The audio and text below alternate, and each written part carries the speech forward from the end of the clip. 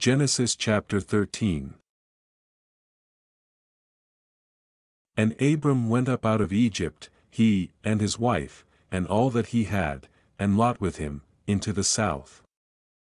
And Abram was very rich in cattle, in silver, and in gold.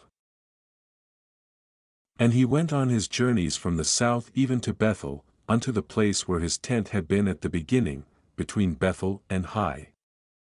Unto the place of the altar, which he had made there at the first, and there Abram called on the name of the Lord. And Lot also, which went with Abram, had flocks, and herds, and tents. And the land was not able to bear them, that they might dwell together, for their substance was great, so that they could not dwell together.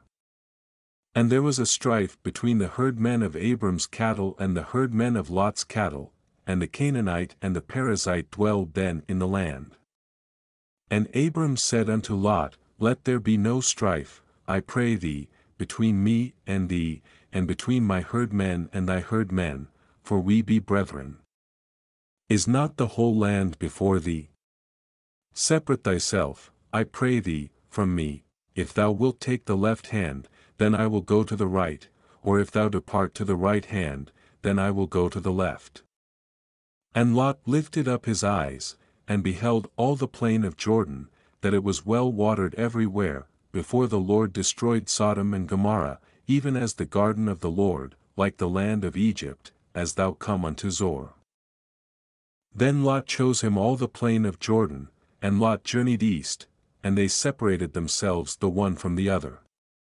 Abram dwelled in the land of Canaan, and Lot dwelled in the cities of the plain, and pitched his tent toward Sodom. But the men of Sodom were wicked and sinners before the Lord exceedingly.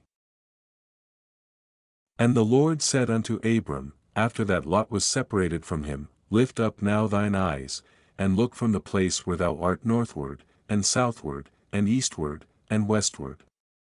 For all the land which thou seest, to thee will I give it, and to thy seed for ever.